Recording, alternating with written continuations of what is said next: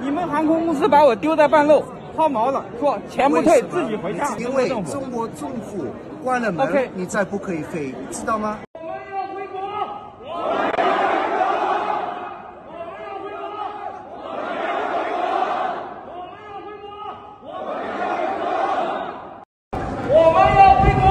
我们要回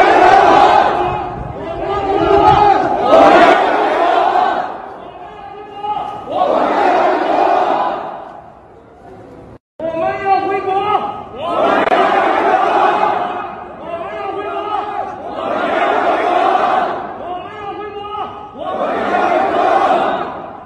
可以了吗？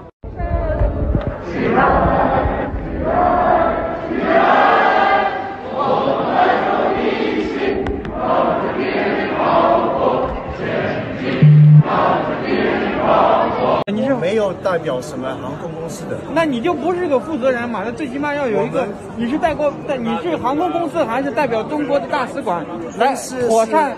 公司是 Swissport，嗯嗯航空公司是瑞航，嗯我帮 Swissport 打工，不，你听得懂吗？我我能我明白你意思，就一定要有一个人过来来我在这里安排这个事情。翻译，我想办法，你们听得懂是什么情况？没有什么情况，我是消费者，航空公司，我在这里消费，你把我丢在半路是不可以的。我们没有丢了你半路啊，我们现在打电话，如果是中国政府的问题，那那你们航空公司应该和中国政府去沟通是从哪。里过来的先生？圣保罗，巴西，巴西哦，巴西啊，对对，那你的情况呢？你要今天晚上回巴西，是你的情况，我回不去的，你回不去，我没有钱。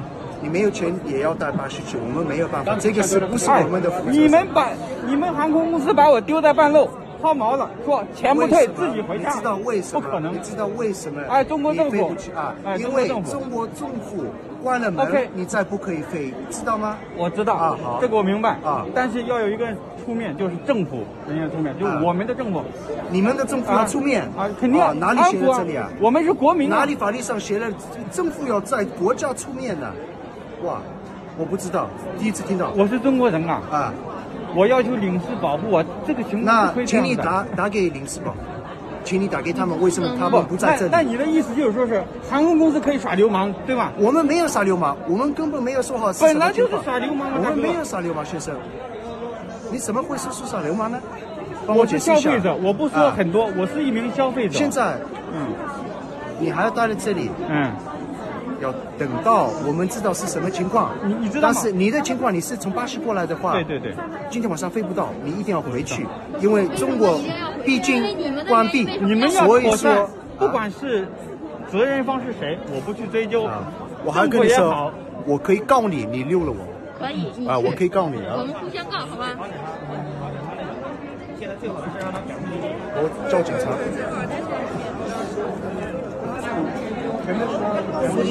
帅哥，帅哥，帅哥， Police, stop that.